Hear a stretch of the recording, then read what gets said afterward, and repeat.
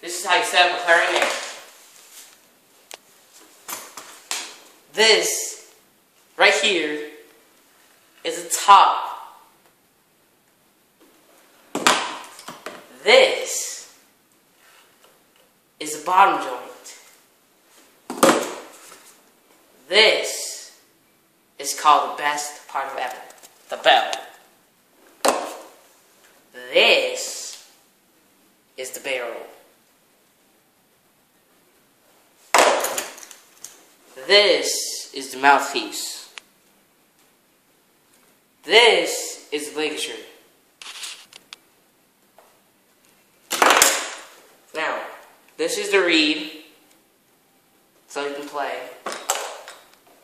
This is the cork grease, before you even put it together.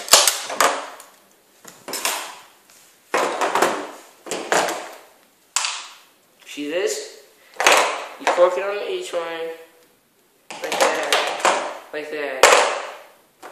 You cork it on each one, except for the bell and the mouthpiece and the barrel. I meant the. Alright. Then you have to twist and not pull down. This it goes left. This is the barrel. And you get to twist it. This is the mouthpiece. Face it backwards from the keys. And this is the bell.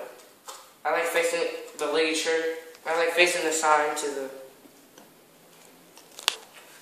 top. This right here is the spit that comes out when you clean it. This is the reed. Reed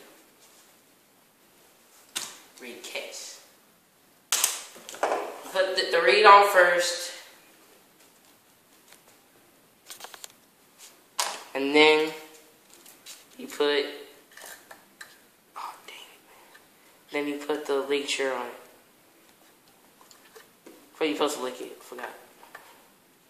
Then you twist, and that's it. Then you play it.